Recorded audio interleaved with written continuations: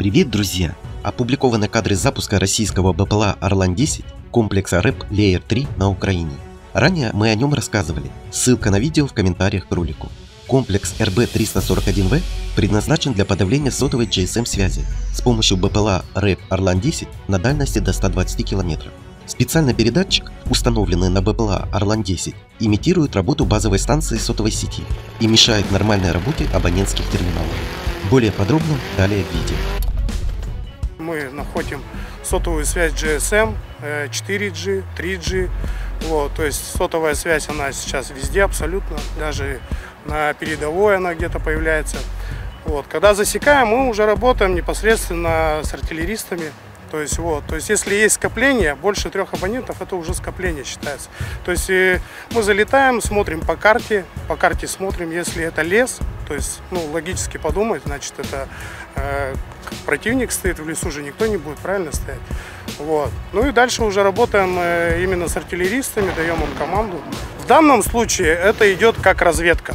То есть телефон есть у всех, в данном случае идет как разведка. То есть разведка, именно координаты, то есть и вот работаем по ним. То есть если пешая разведка не достает, допустим, она не может выйти, да, там какие-то преграды у них, мы залетаем на данном аппарате и уже с разведчиками работаем. Можем работать на любое расстояние, залетать на передовую.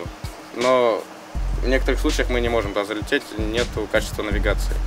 Э, собираем, обрабатываем эти данные. Если нужно, то заходим в постобработку, э, анализируем эти абонентские терминалы, определяем, какой стране они принадлежат и, в принципе, их удаленность и разброс между друг другом.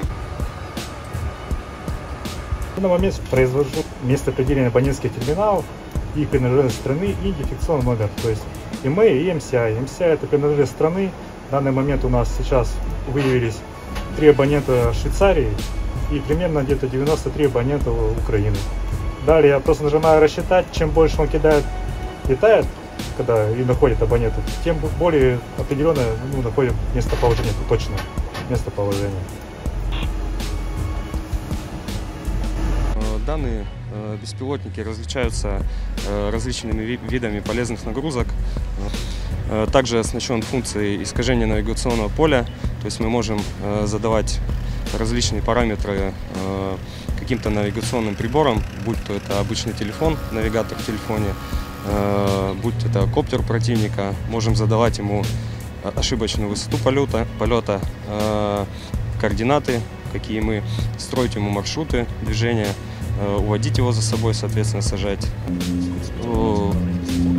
Это очень важно, потому что коптеры, допустим, используются на всей линии фронта, Э, снимают наши позиции. Э, данный беспилотник показался очень эффективно, то есть если в радиус действия попадает коптер, то мы можем его увести за собой, сажать. На этом на сегодня все. Друзья, спасибо за просмотр и помощь каналу. Мы осветим все.